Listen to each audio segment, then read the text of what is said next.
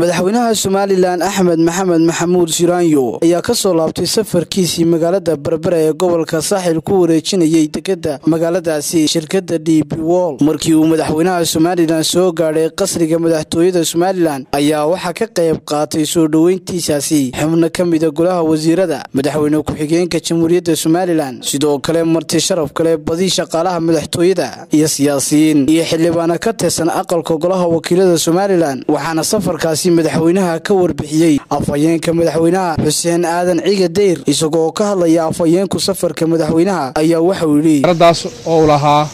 amiir kuweydiya oo ku nool dalka somalilan gaar ahaan gobolka saaxil madaxweynuhu safar howleedkii uu ugu maqnaa berbera wuu soo gabagaboobay. Safarkaas oo ahaa safar mashaariic waaweyn oo qarankani uu fulinayo ku aadanaa oo ay ugu horreysay arrintii d b well sida ofishalka loogu wareejinayey maamulka iyo ballaadhinta iyo casriyeynta dekedda berbera shirkadda weyne caalamiga d b well waxay si rasmiya ula wareegtay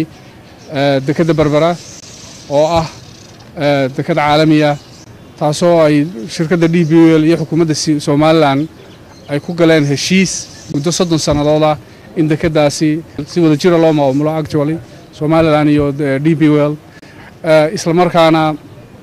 la casreeyo lana ballaadhiyo mashruucaasi si fiican buu u hirgalay. Run ahaantii wuxuu ahaa mashruuc ku dhiirasho lahaa oo ummadda somalilan taariikhda u geli doona. Mashruucani waa mashruuc guud ahaanba mandaqadda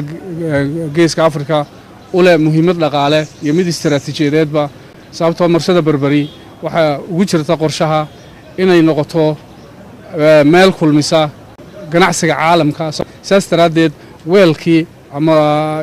nidaamkii aynu kula jaan qaadi lahayn ganacsiga caalamka u kala gooshaya ayay d b well horseed ka tahay. Dekedda berberina istaraatiijiyadaas muhiimaddeeday leedahay. D b well waxay ku tala jirtaa inay dowladda somalilan kala shaqayso sidii loo casrayn lahaa loona ballaadhin lahaa korna loogu qaadan lahaa horumarka dhaqaale ee geeska afrika gaar ahaan mandaqadan oo ay qarankeena somalilan ugu horreeyo. Qaranka somalilan wuxuu caddeeyey inuu yahay qaran isku kalsoon